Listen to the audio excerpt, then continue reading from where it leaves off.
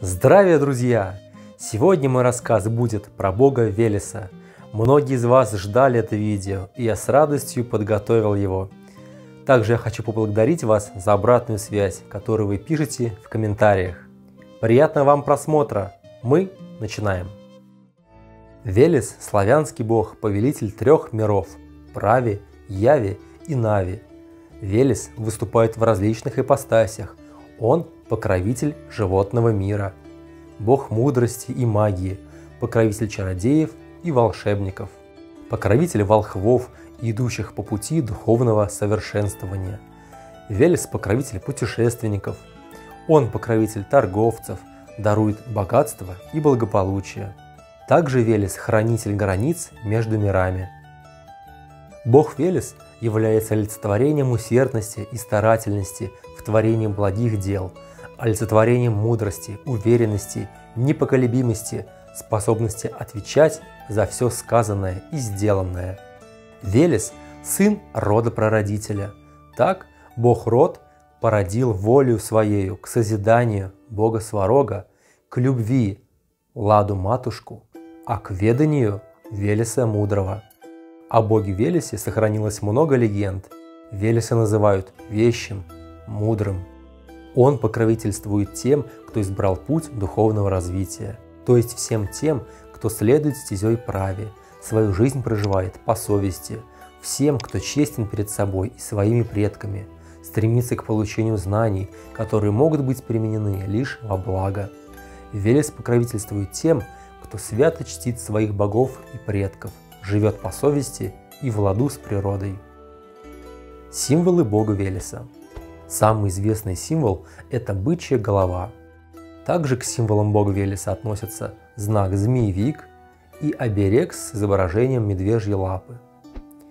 Оберег Велеса Триглав олицетворяет властителя трех миров. Главное животное бога Велеса – медведь. Другие животные – лось, олень, вол, корова, змея и ящерица. Дерево бога Велеса сосна, дуб, орех или ясень. Из этих пород делают магические посохи и обереги. Велес – покровитель чертога волка, которому соответствует дерево тополь. В моем дворе растет три мощных тополя рядом, и когда я прохожу мимо них, я возношу свои очи к небесам, обращаюсь к Велесу. И также стараюсь слушать ответ – Вообще я люблю обращаться к роду, к Велесу, к тем, кто мне ближе из наших богов. Ну, продолжим.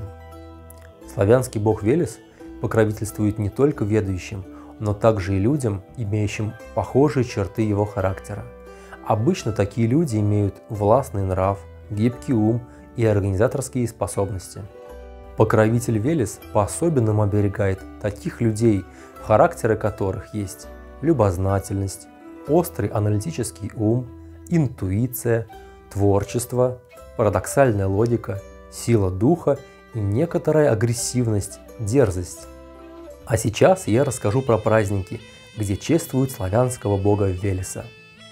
Большие Велесовы святки. 25 декабря, 6 января. Это один из самых важных по значению праздников, время, когда двери меж мирами открыты – Святки гадают и спрашивают о будущем на весь год. Малые Велесовы святки с 4 февраля по 10 февраля. Почтение Велесу в ипостаси покровителя домашнего скота. Велесов день 11 февраля или 26 февраля, день бога Велеса. В этот день суровый бог сшибает рог зиме. Начинаются игры зимоборы. Ожидание весны. Велесова ночь с 31 октября на 1 ноября. Эта ночь была посвящена спокойному поминовению предков. Славяне старались после заката не выходить на улицу, чтобы не встретиться со злыми духами. По поверьям, бог трех миров будет держать все границы и перекрестки открытыми до самого рассвета. Каледа, 21 декабря. В праздник рождения молодого солнца стоит вспомнить о Велесе который вместе с другими богами сберегал от худа Маю Златогорку, ее детей Калиду и овсения. Сейчас прошла эпоха лисы, эпоха материального, и наступает эпоха Велеса, эпоха волка, эпоха духовного, эпоха мужественности. Кто хочет повысить свой духовный уровень или укрепить мужественность, может обратиться к Богу Велесу. К Богу Велесу лучше всего обращаться, находясь в лесу, общаясь с деревьями, с духом леса. Ведь Велес означает «ведающий лес» или по-другому «вещий лес» или «вещающий через лес». В день Бога Велеса можно зайти в лес и просто слушать.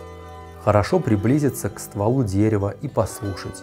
Можно зажечь небольшой огонь и просто слушать лес. Таким образом, приблизиться к Велесу можно, гуляя по лесу или будучи на природе, рядом с деревьями, возжигая священный огонь, обращая свой взор к богам и предкам. Есть еще такое интересное поверье. Считается, что после своей жизни умерший человек идет в другой мир через реку Смородину по Калинову мосту, после чего его встречает бог Велес и спрашивает его имя. Все дело в том, что умершему сложно найти Калинов мост. Многие его не видят, а уж вспомнить свое имя перед Велесом не могут и подавно.